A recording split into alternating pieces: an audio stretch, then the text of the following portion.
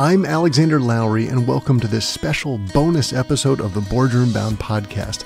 As I think about fun ways to share with our audience how to bring their best selves in the boardroom, I thought let's take the show on the road. Let's go live. We went down to the recent National Association of Corporate Directors annual Board Leader Summit, which is the largest and most important director forum in the world. It's where the greatest minds in governance convene to take on the largest issues facing today's boardrooms and collectively discover the future of exemplary board leadership. And we did a live episode of the podcast. We were there. We had several hundred people sitting in the room, and we were talking with Tom Leppert, who is one of the leading thinkers in this space. Tom's been on a variety of boards going back 30 years. He has been a CEO in five different industries. He has worked in a range of opportunities from startups to mature companies to ones navigating survivability. He's been on in four countries on three different continents. He's been in different types of board structures from public to private to ESOPs, and he's got the public sector experience. He worked in the White House. He was the mayor of Dallas. He ran for the U.S. Senate. Tom has been there and done it, and he had so much knowledge and lessons learned to share, and it was so much fun for me to share it live. So let me bring you this special episode of the show that we recorded live at the NACD Annual Board Summit.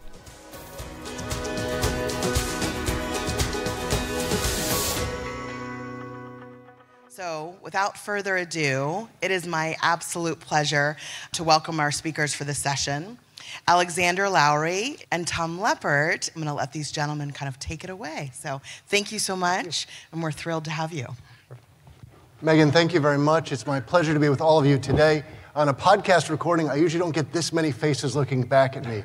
Occasionally, I'll have one person in the studio. Usually, it's over the phone. So, this is a treat for all of us today. And as Megan said, this will be an interactive session. So, Tom and I've got a lot of ground to cover, but we're going to leave time for all of you to ask questions as well. So I'll give you a prompt before we do that at the end, but we would love for you to ask all the hard and challenging questions that I don't get time to ask Tom today.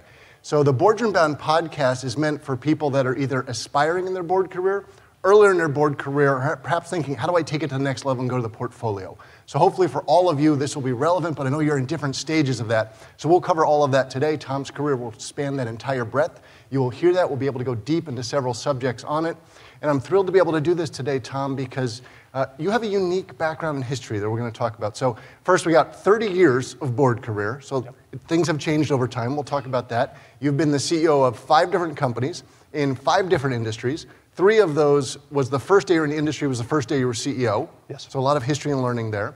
You've been on, I think, four different countries, three different continents. Yep. So lots of knowledge to talk boards, about four different, all the boards. Uh, four different countries. So very relevant for our audience today. So let's just start and set the scene. What was it like when you got your first board role? How did that come about? Um, we, I had been headed up a large subsidiary of a holding company, and we spun the company off. So I became a member of the board of the new company as we went public. Okay. And for context, there's a story before you got that first board role. Um, for a lot of people in the audience, or people when I talked about how they get boards, they say, What's the story I need to have? And it almost sounds magical when the first board happens. But you had done a lot behind the scenes to make that happen. So let's short circuit it. Harvard Business School for your MBA. Yep. McKinsey after that. White House Fellow briefly yep. in between that. And then eventually five different CEO types. Stepped out of that uh, after one of the major CEO roles, leading a big company, to become mayor of Dallas. Yep. Then went back and became another CEO again. So we will circle all of this back, but there's a lot of story behind how that works, and we'll, we'll touch those pieces today. So you got that first board Maybe role. nightmares too, stories too, yes. okay, that's the honest stuff we'll talk about. So you've got that first board role. Today, people would say you have a portfolio of board roles. Talk us through the idea of thinking, actually, I'd like to have more than one. Maybe I make this part yeah. of my professional career. Um, I think it's fascinating to work with boards. So I have been involved in not only the breadth that you have mentioned, but literally from startups to established companies, a variety of different structures from public to private, including ESOPs, uh, involved in family businesses, et cetera. So quite a range. Today I'm working View Glass, uh, probably more than a startup, but still at an embryonic stage. Austin Industries is an ESOP that's well over 100 years. And then I'm involved in a company by the name of Fluor, uh, which is a 100 year old engineering construction company that has been involved in the last several quarters of having some real challenges um, in terms of write offs of major projects. Um, so it is a complete range of different issues and challenges. But maybe even more so, you've, you've got startups that you've talked about, you've got mature companies, but you've also had some that were struggling financially, if we put it Absolutely. kindly, right? So we can talk about that entire breadth. So at some point you decided this would be great. Uh, we would look at you now and say career portfolio board member. there's a change that has to happen in someone's mind to realize they want to do that. And part of it is if you're a five time CEO, you are used to solving problems, to making it all happen. When you move over to the board side permanently, noses in, fingers out. Big difference. it, it is a very different role. And, and it was one that, to be truthful with you, there was some adjustment. As CEO, you can get involved in the issues, um, clearly spend a lot of time, and you are the one on the firing line expected to make those decisions. I believe a board member is very different than that. Uh, the analogy that I will use is you are part of a team. You want to have a strong board, but you don't want to have strong dominating board members. It needs to work as a team. So, as a CEO, clearly more responsibility individually. The board, all of a sudden, you are part of a team, and that dominating role simply doesn't work anymore. Well, let's put some context around that. So, you were a CEO, you had boards in multiple situations. What was that like for you managing up and reporting into a board to help give all of us some context before we talk about it from the other side? I, I think it's been an advantage for me to have been a CEO and worked with my own boards and then gone into situations where I was on the board but not involved in, in the company. Uh, I think in that sense, you've got a sense of empathy with some of the challenges that the individual CEOs have and can identify with some of the issues. Likewise, hopefully, I was able to convey some of that information, that knowledge, to the other board members who had ne- necessarily had not been in those positions. And there's a big discussion today about whether we should separate the chair and the CEO roles. So my prior role at JP Morgan, Jamie Dimon, I would say the best banker of his generation, probably very well qualified to do both of those. Uh, there are some people today, I might say, perhaps we should separate them. What are your thoughts on that, having been in those seats? My, and to be frank with you, my view of that has evolved over time. Uh, there was a time at which I thought it was fine to have them being in the same individual, uh, one individual having the same roles. I've evolved now, and I think in part because board service has shifted and changed. There is so much more emphasis from a public standpoint on looking at the performance of the boards, uh, clearly from the investors, but even internally looking at employees too. There is a whole set of issues there in and of itself. And I honestly think now, having seen it both sides and trying to be as objective as possible, that there are two different positions and your governance is improved from an objective standpoint of having that having that balance of power, so, so, so to speak. So my, my, view has evolved. Now, that isn't to say that there aren't some situations where it clearly could be appropriate to have one individual. But as a general rule, I honestly believe now, and I think you're seeing it evolve over time, that you're going to end up with those two different positions. As I mentioned, I've been involved in board service in a lot of other countries too, mm-hmm. UK, Australia, et cetera. And in those, it is taken as a given that there'll be different positions. And in fact, in the UK, you have uh, chairmen that are spending a lot more of their time involved in their service to the board as chairman. So it's two distinct positions. Well, let's talk about that because you, you talked about having a strong board, and we should explain what that means because, as we talked about in the general session beginning yesterday, uh, there's a fine line between, say, 30 years ago when you started in the board and the number of questions and the types of insights the board asked about versus what's expected today. What does that line mean? And maybe it's different by industries, different by companies, between stepping over too far into management's role. Well, I, I think a lot of time, and it goes both ways.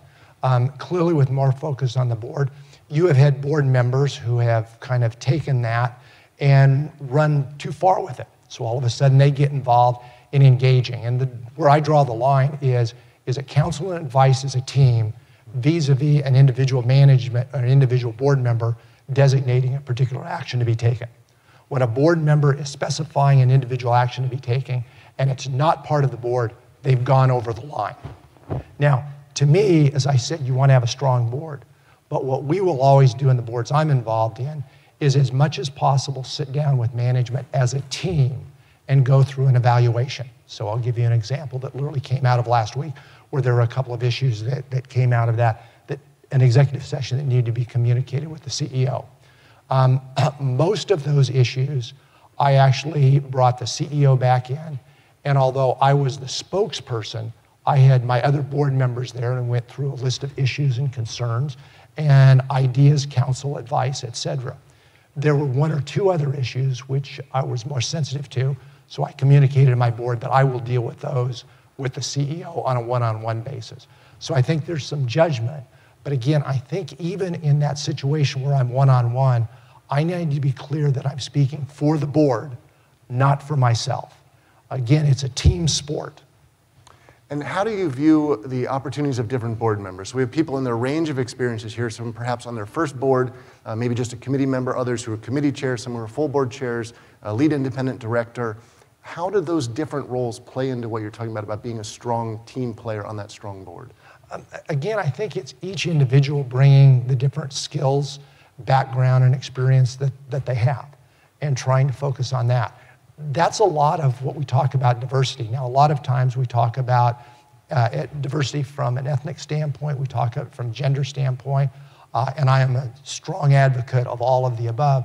But diversity is even more than that. Diversity is looking at experience, it's looking at areas of expertise, those sorts of things, and having that balance that goes across the, the, the board.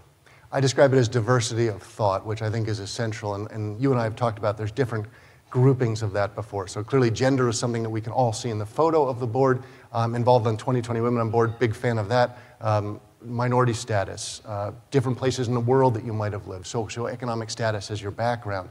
Uh, you and I are pretty tall, maybe we check those boxes on the board. So there are different ways to look and think about it. Also, age is very common now, and people are saying maybe we shouldn't all be pale, male, and stale. Maybe we should have some younger yeah. people for our demographic. So if you are a board chair and you're pushing for this, what does that actually look and feel like? How are you involved in that movement today to change the boardroom? I think a lot of it is just looking, first of all, at the company and what the company needs. I think sometimes we jump out and we kind of put all the companies in the same bucket, so to speak, and think that there is a generic formula for boards of X women, X minority, X, Y, or X, Y. I think you really have to step back and say, what are the needs of the company? And importantly, those change over time too. Uh, it is one of the reasons that I think there actually should be term limits for, for board members. I know that's not popular with a lot of board members, but it really should be. The, the challenges of all the companies I'm involved in today, 10 years ago, they were very different and required different skills, not only of the management, but of the board members. And I can almost guarantee you that 10 years from now, that's going to be the same situation, where the board members today may be terrific and making enormous contributions and providing value to the company. But in 10 years, the world's going to change, and those skills, those expertise may not be appropriate, and they'll be replaced by new skills and expertise that that company needs to have to be successful in the future. I remember landing my first major board role, and I walked into the first meeting, and there was one woman. Uh, everyone was white, and I was the only one south of 50, and I was much less than 50. And I remember sitting to myself in the first board meeting, having a conversation, thinking, how are we going to innovate? Now, it's possible, but if, if, people are all from a similar background and experience, they were all from the same part of the world, thinking, this is actually going to be hard. Uh, this was in the UK, and I'll, I'll teach you one of my favorite British words today. So I, I talk about I'm bilingual, lived there seven years, I speak British and American. And there's a term in British called naughty. And when you are new in a role, think about your first day in a job, you get to ask the naughty question. Basically, uh, two months after people say that's a stupid question, but in the beginning, you can ask a naughty question. Why do we do it like that? Have we ever thought about doing it this way? And there's that wonderful opportunity in the beginning for people to sit back and go, that's interesting. How have you approached that on your boards when you're a new board member? Well, I think there's a great advantage being a new board member. As we were talking about, when you think about grouping, I'll give you the example. You could have a third ethnic minority, a third women, and a third other. And if they had all had a background where they went to a boarding school and then on to Harvard, I would argue that you don't have very much diversity, even though you would have seen that in terms of the pictures of the people, but you don't have that diversity. As to being, in, and, and I think I've had an advantage in my life. I was raised by a single mom. Um, she didn't have an education, so the only thing she could do that was white collar was be a secretary, and she did that for 40 years. I had a chance to see what discrimination was like because in a lot of cases, she knew much more. It was a small mortgage company. She knew much more about secondary markets, et cetera, than any of the men that were involved in the business. But because she was a woman and didn't have an education, she never had that opportunity. That not only affected her, it affected me, and I would argue it affected the company. You didn't simply bring the best skills and expertise to, to, to bear. And I've had a chance uh, to be involved in a lot of community type of things, even before I was involved in, in, in, the public sector. And I saw the value of that. The reality of it is, the people in this room, this is not a picture of what the world looks like, and it's not a picture of your customers. Unless you have people that engage in the community and understand what the real world looks like, you're going to make mistakes. I think a lot of managements go far off the rail simply because they talk to themselves. They're kind of, and again, it could be the diversity that we think of, but once you get on the 52nd floor and that's all that you're focusing in on, you don't have an appreciation what the real world looks like in the United States, much less the rest of the, of the world. Uh, being a new time uh, or a new board member, I think is the best situation you can have simply because you can ask any question that you want. Uh, and I really think it's important, a lot of boards don't do it, and individual board members should, should, of going out of their way to really set up a list of things that you want to go through. You know, I want to see all the financial statements. I want to see not the financial statements, but I want to see the CEO's reports that go to him or her. I want to see any dashboards that you have. I want to be able to talk. My rule is in a large company, at least everybody at the level reporting to the CEO. In a medium sized company, I go two levels down. So it's kind of what the N2 from that standpoint. I want to be able to talk to all those people. I will spend a lot of time with the general counsel. I'll spend a lot of time with the financial people. But you've got a chance to be able to do that. And a lot of boards, again, become insular. They, the, the good boards are proactive and they're external focused. Too many boards are internal focused and they become very reactive to situations. Uh, I think there's a lot of things that can be done on that. If you're a new board member, it's a great time to be able to throw those out. Why aren't we having board meetings, not in a headquarters boardroom, but why aren't we having it at a facility? Why aren't we having it at one of our stores, et cetera, things like that in very diff- different settings? Um, I'm a big one that, uh, and again, this will be kind of controversial. Too many boards rely on the CEO. Again, I was a CEO but too many boards rely on the CEO. That's their source of information. If that's your source of information, I can guarantee you you're going to be in trouble at some point. You have to be able to have access to all the executives. You've got to be willing as a board member to go out and look at facilities, look at the operations, those sorts of things. Home Depot has a great little game they play. It's not a game, but they require from their board members that three times a year a board member has to go to a Home Depot store and write a report on it. That should be done more often because, again, when you start seeing and become insular of looking at the financials come in, when all of a sudden you rely on management to tell you what customers are thinking, et cetera, that's just a recipe for failure. You should be asking for external reviews. You should be trying to get customer reviews. All of those sorts of things become valuable and you should never see anything coming from complaint lines, 800 lines, et cetera, that are filtered. You always want to see the raw data because that's the only way you can look at trends. And you were saying that even the best companies, the honest companies, you're not going to get everything you need from that. And you know, a couple stories back in my own day when I was a strategy consultant, I remember one company I will not name, they always had the annual fire drill day during a board off offsite because the board never needed to be there if there was a fire in the building, right? They didn't want to be inconvenienced coming down the 50 floors boards and management teams can tend to be on their own and feel like they should be separated. You're saying they should do different things. Uh, Cheryl Bachelder, who's a friend of mine, she's on the Chick fil A board, Pier One, a couple other boards. She was talking about how Chick fil A, every time they have a board meeting, they have to go visit stores. And they're interacting with customers, interacting with employees to get that feedback. Home Depot, it sounds like another great example. Why aren't more boards doing stuff like this and getting In out of the part, it's harder work. It takes more time. And, you know, a lot of times, that's not what boards do. And, and again, to be frank with you, in a lot of cases, boards don't need to do that. The company's doing well, you've got management in place, you might be in an industry, there's not many of them, where there's not a lot of change, et cetera, and a very laissez faire approach can play out. The problem is you're rolling the dice. Um, if you were at CBS, you thought things were in great shape. You all of a sudden, and as I say this, any management or any board member is one story on the front page away from being a public official. They are all public officials now. And they relied on management as their only source of information. And they basically stepped back and really delegated all responsibility to, to management and their board responsibilities. Um, I'm sure they wish that wasn't the case today, but it's a very hard lesson that they've learned. So I think that was the tweet for the day, by the way. And I would love for your perspective on you said you need different information sources. You need to gather different metrics, different data, getting it from different places. You also said if you're a new board member, you want to meet with that wide range of people. I can certainly understand that. What happens if there are 12 board members and they all want all of that senior person time? Does a company react well to that? Do they feel like their toes are being stepped on? Again, it's got to be managed in the right way. Okay. I mean, if everybody wants to do it, you can do it in groups of three. You can have that individual come in and do presentations, so it can be a 12 on one. There's a lot of different ways that you can get it, and even in a boardroom with a couple of very probing questions, you can start seeing if, if there's issues that are involved and, and there, there, there's concerns.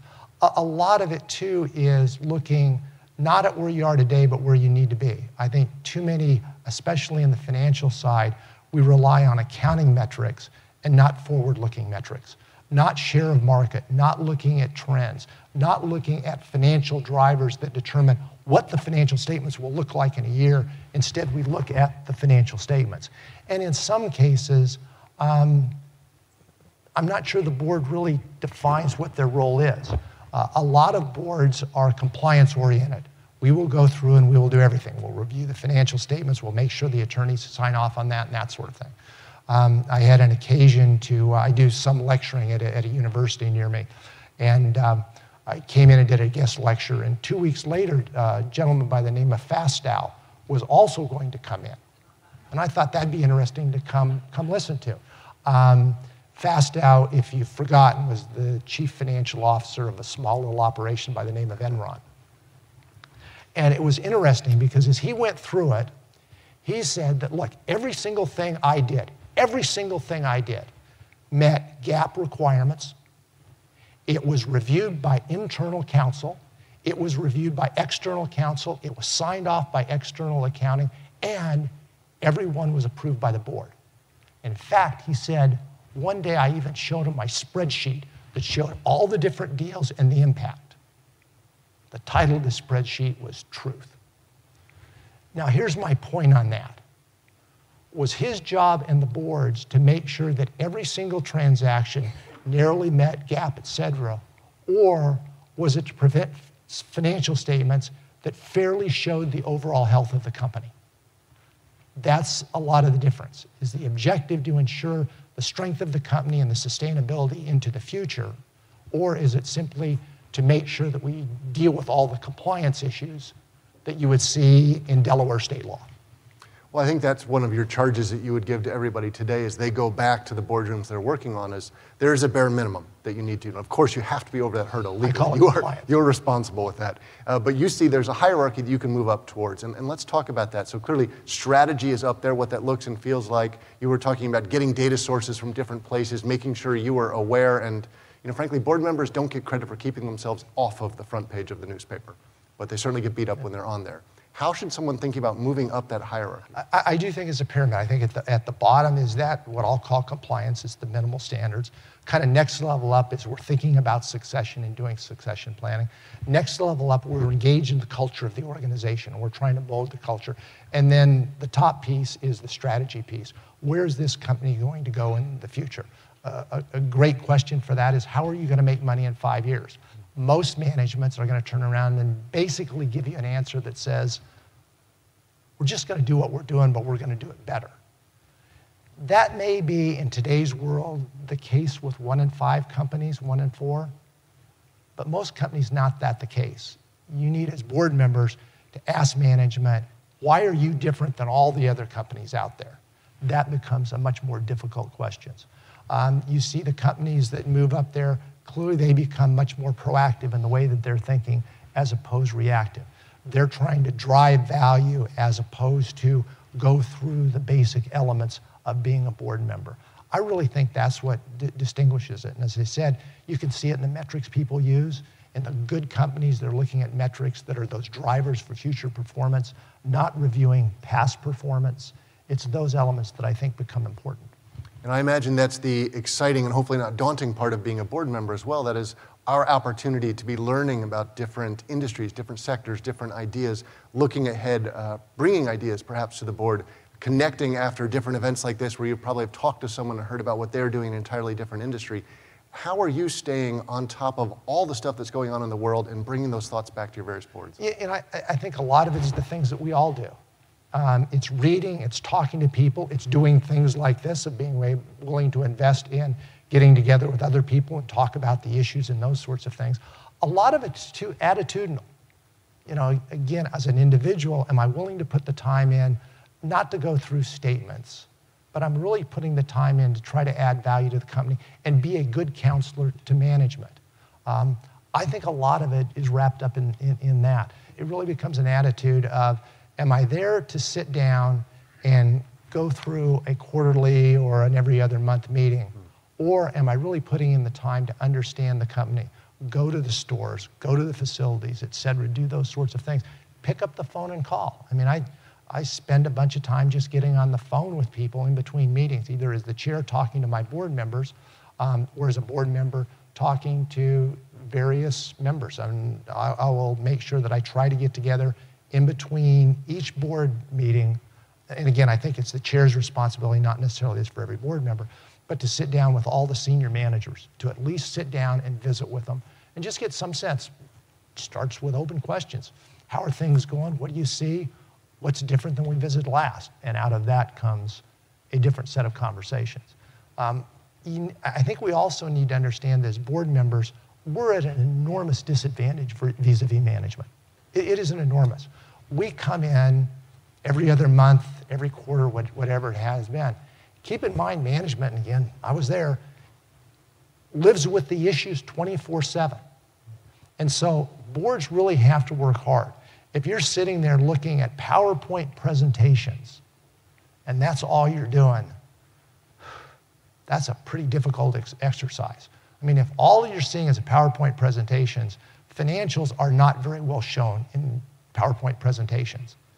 There's a great value in simply seeing statements and being able to go through those, those statements.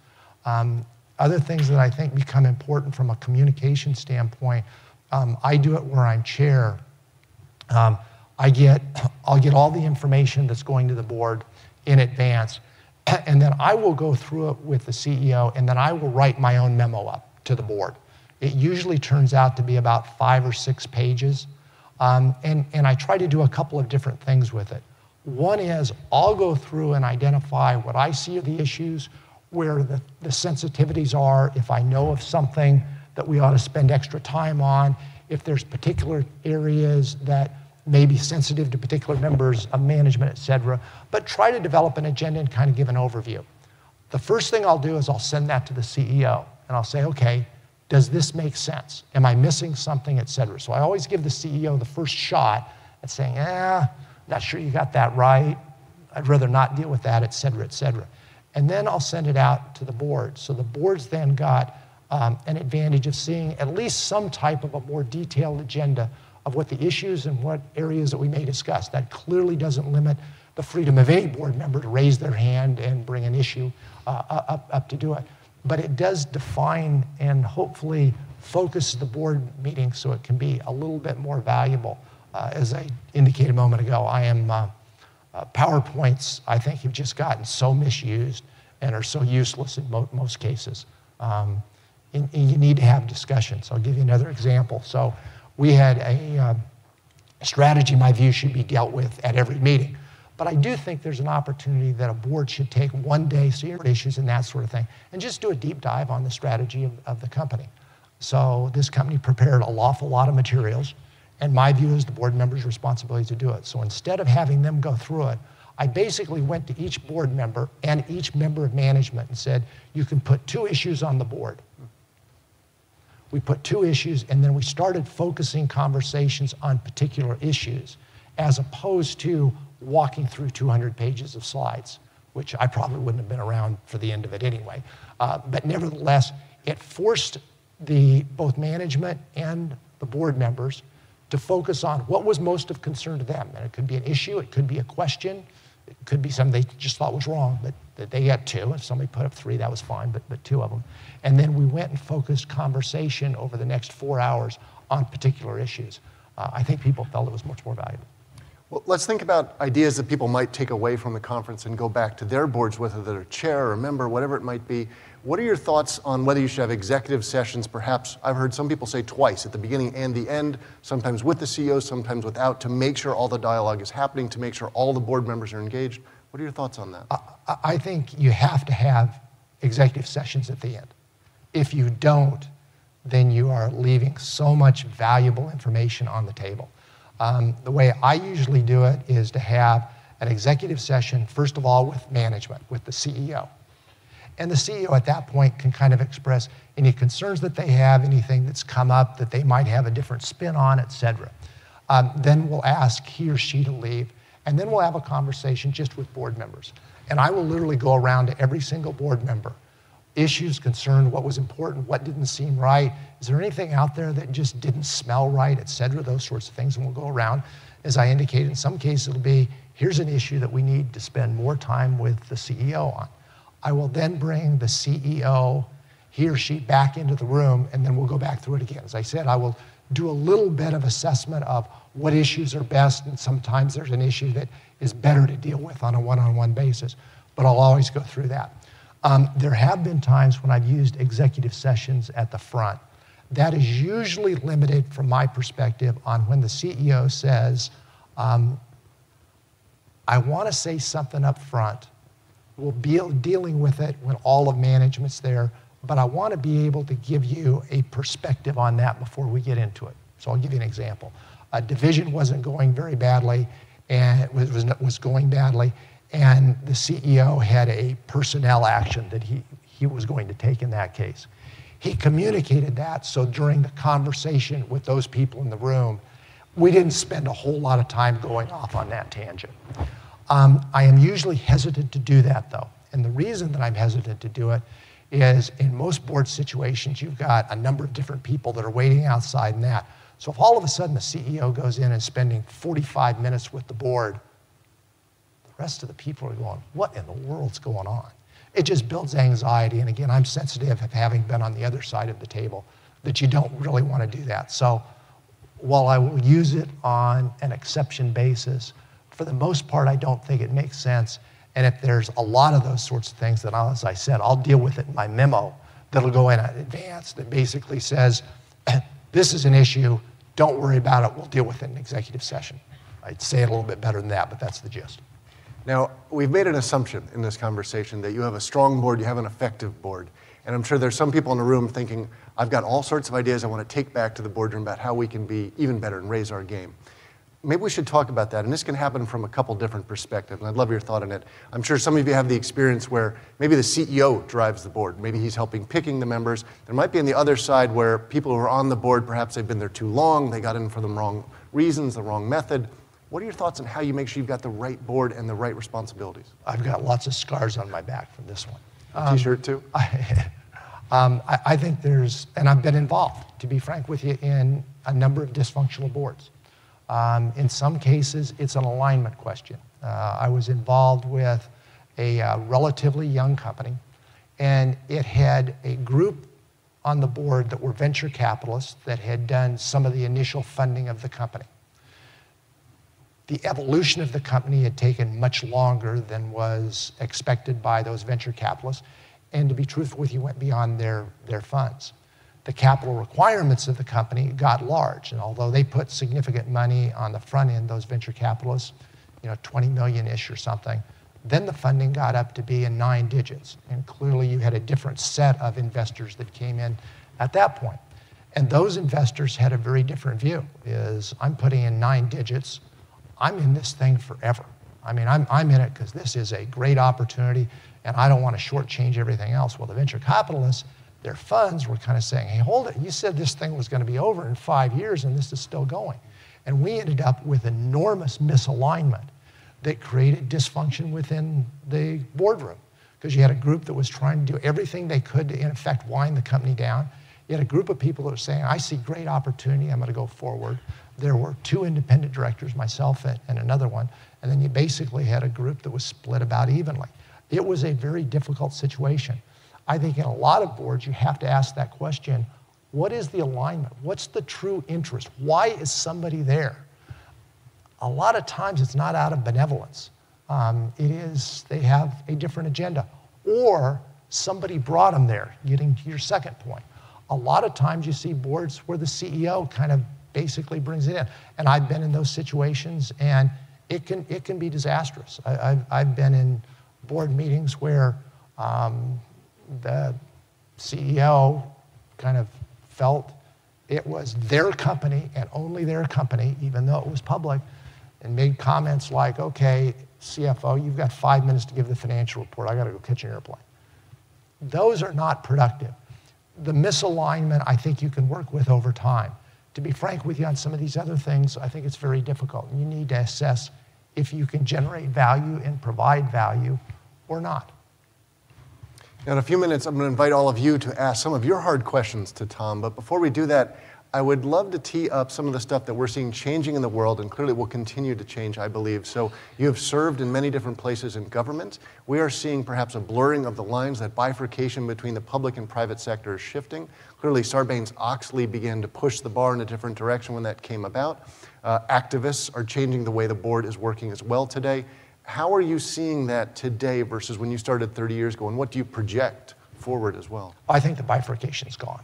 I think the public policy, the public-private bifurcation is, is absolutely gone. As I said, you are one news story away from being a public official, uh, if you like it or not.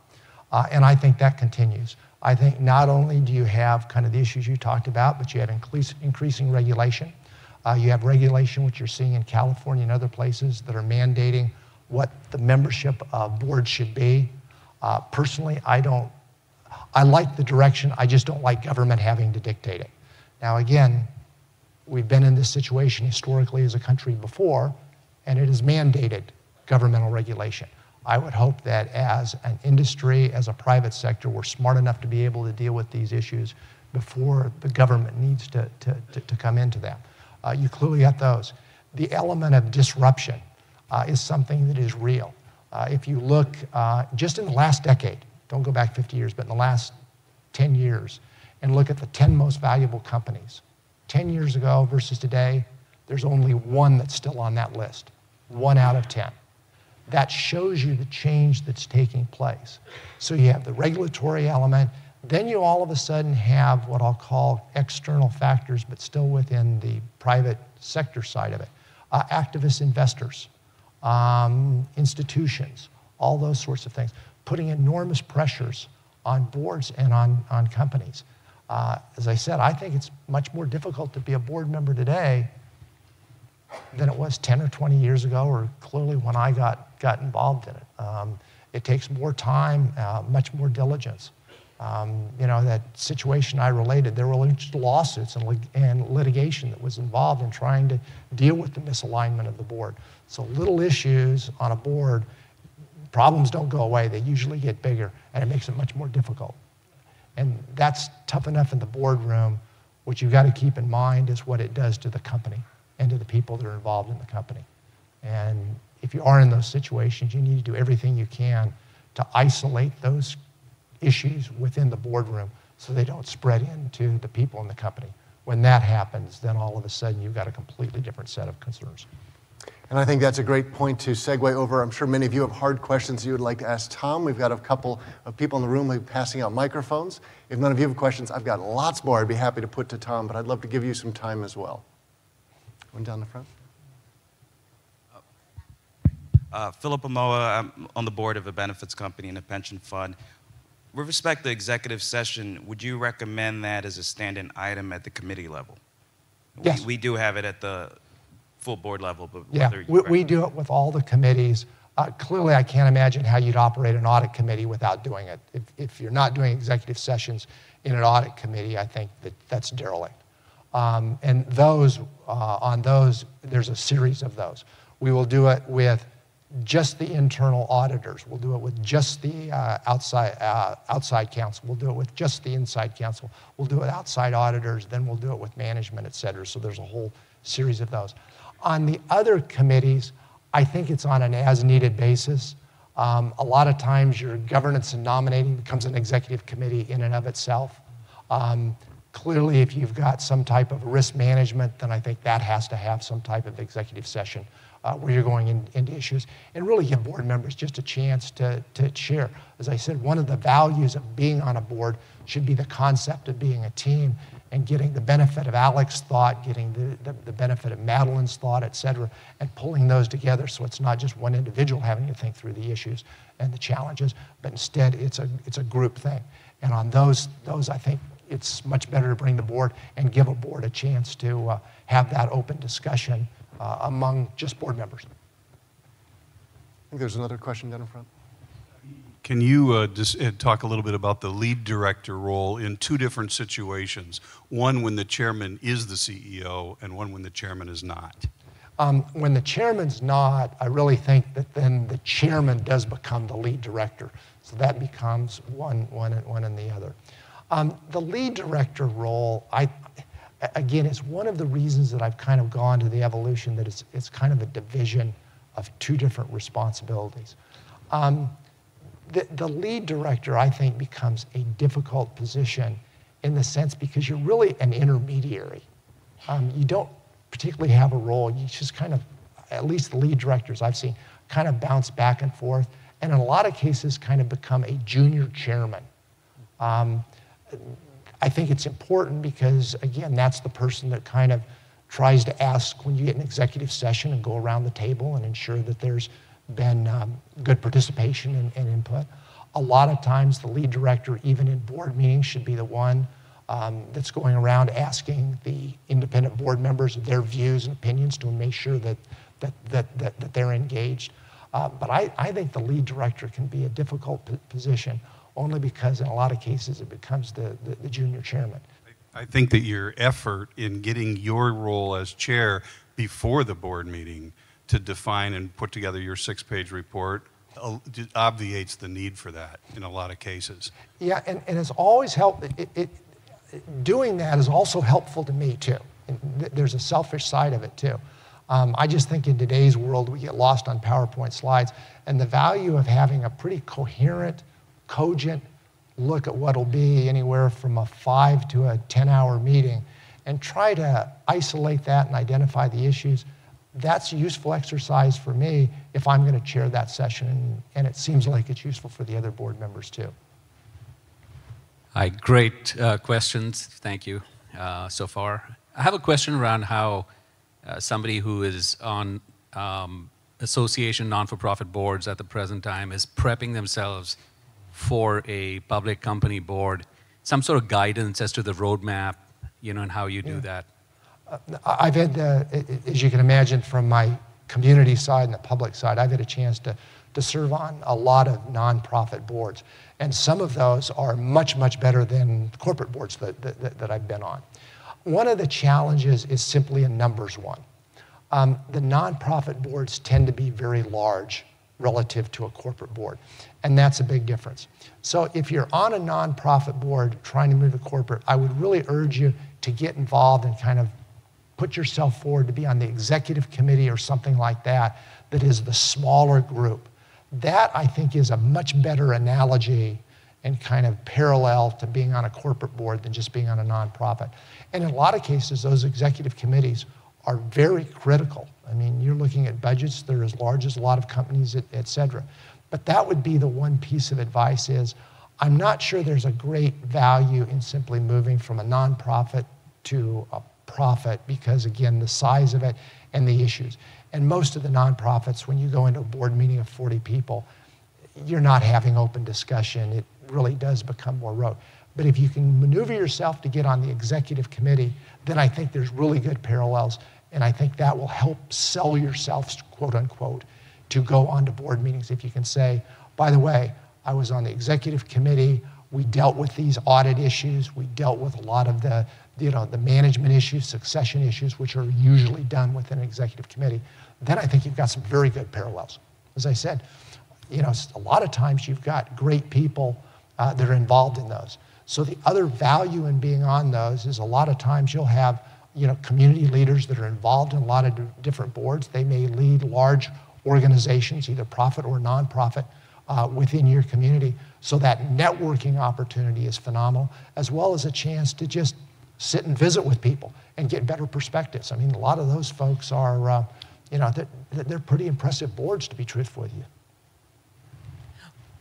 What are your thoughts about the role of a director in dealing with the whole subject of ESG? Um, I think the first thing you have to do is look at it from an external standpoint. Like anything else, where the world is going and what my employees, what my clients, what my suppliers are asking for. It seems very clear, and if you sat in on 10 minutes of even the previous session, you understand that that's where the world's going to go. Uh, I am a great believer that the first role of leadership is defining reality.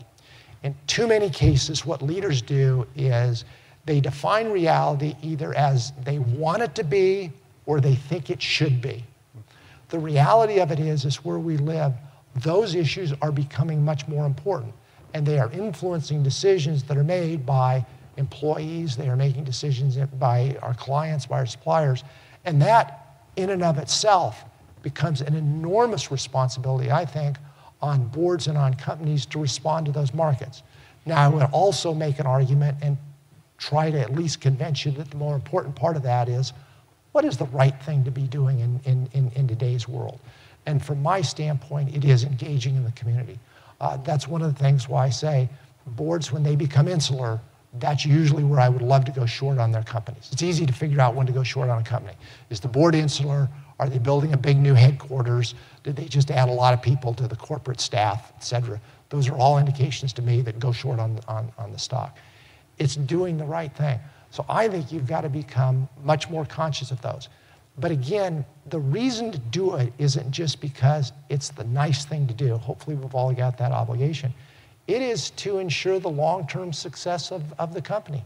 As you heard, um, trying to bring in the best people. You know, we see an unemployment rate of 3.8%, which is not the right rate. Don't kid yourself. That isn't even close to the right rate. But it's probably a good representation of the tightness of the labor market for highly educated, highly valuable people. Well, you're competing with them. And if you're not going to respond and be conscious of what their needs are, especially in today's world, then you're going to have a deficiency on the talent within your company. Um, if you're not responding, you're going to leave a lot of marketing opportunities and new business opportunities uh, behind. So, again, I make the argument that it's the right thing to do but I'll also tell you it's the right thing for the business. Um, when I was CEO, I always pushed my people, and you kind of got a sense of this earlier, that they had to get involved in the community. And again, I will tell you, I got involved in a lot of different things. In every situation I was involved in, and I spent lots of times in leadership roles in nonprofits and community organizations. In every situation, I got more out of it than I put into it. We have time for one more question. Hello, Antoine Owens. Uh, thank you for uh, speaking to us today. My question is around when you do um, initially go on a board, since sometimes you can't find out as part of the evaluation process, and there's either a lack of engagement from other board members and they're not looking at the right things, or there's misalignment of their focus or interest. Um, as a new board member, how do you think about either kind of calling out that observation and helping to move the board in the right direction? And how early do you do that? And then ultimately, if, if you can't move kind of the ship, do you decide to continue to stay on the board or do you decide to move on? Yeah, let, me, let me deal with that, but I think there's a piece in front of that, and that's the due diligence of going on a board. Again, I've gotten some right and I've gotten some wrong. Um, I'm not sure that we spend enough time on the due diligence. I think sometimes people are asked to be on boards and their initial reaction is, yes, I'm going to go on it, and that sort of thing. That's not the way you ought to go about it. You really ought to spend the due diligence to understand the company. That would mean sitting down with the CEO and potentially other members of management and trying to understand what are their values. Ask them where they've come from. You know, what, what is your background? If you're leading this company, tell me what you did before. Looking at how those companies done and how they reacted can be very helpful on, on that. Um, talking to other board members, um, not just from an interview standpoint, because a lot of times we'll take it as an interview, but instead interview them. How does the board work? Do people participate? Um, there's nothing worse than being on a board that's not congenial. I mean, i I'm old enough with enough white hair that the only things I do today are with people that I like to be around.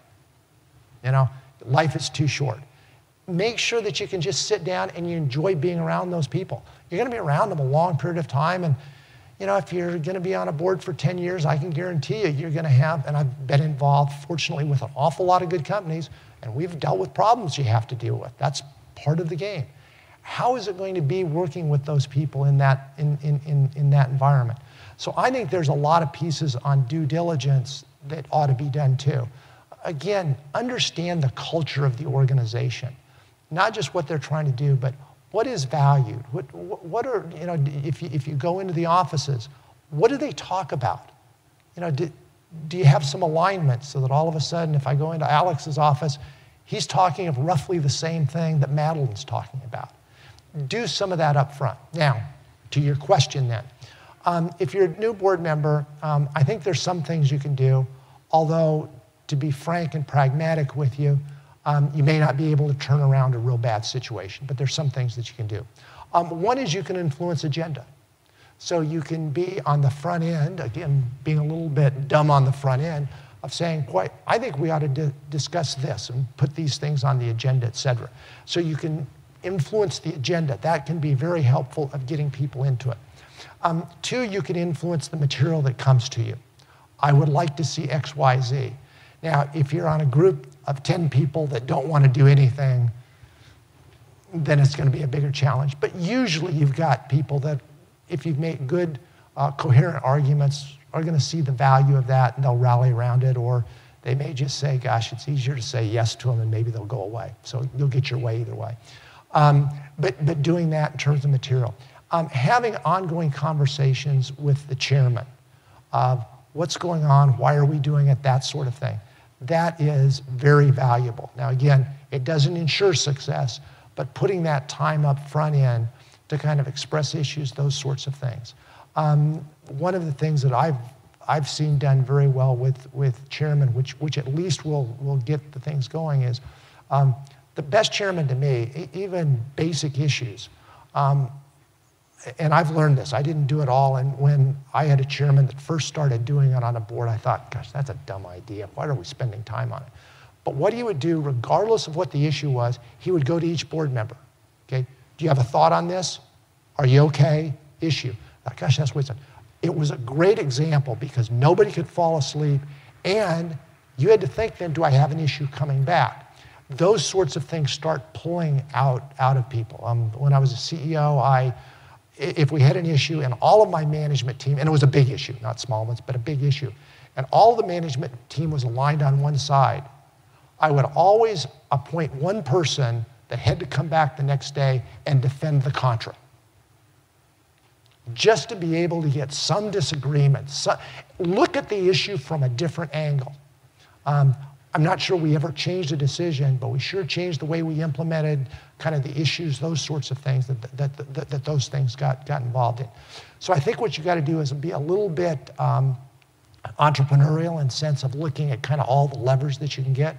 You do have some levers in terms of conversations with the chairman, uh, agenda items, um, materials that you ask for, those sorts of things. Those are the places I'd at least start. So, Tom, I think that was a great summary of the conversation today. Great ideas that all of us can take back to what we're going to be doing when we go back home. And thank you for helping make all of us more boardroom bound. Hopefully, it's helpful. Thank you. Yeah.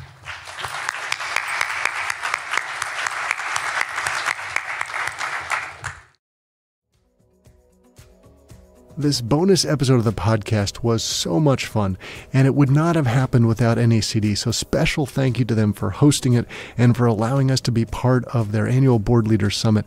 And I cannot recommend this more highly. You had basically 2,000 corporate executives and board members bringing together the best and the brightest cutting edge thought leaders and industry experts. And we had four days of dialogue, interactive workshops, and unprecedented networking opportunities.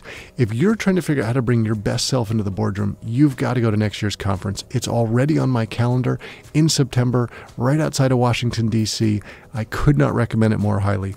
And of course, a special thank you to Tom Leppert for the lifelong lessons of bringing your best self to the boardroom and all of the knowledge that he shared with our listeners today. And you're talking about not only someone who is great at what he does in the boardroom, but a wonderful human being and enjoyed all the time to get to know him during the conference. And of course, a special thank you for you, the listeners. And if you liked what you heard, I'd ask you to rate and review the show because it helps people find us. Until then, we'll see you in the next normal episode of the podcast.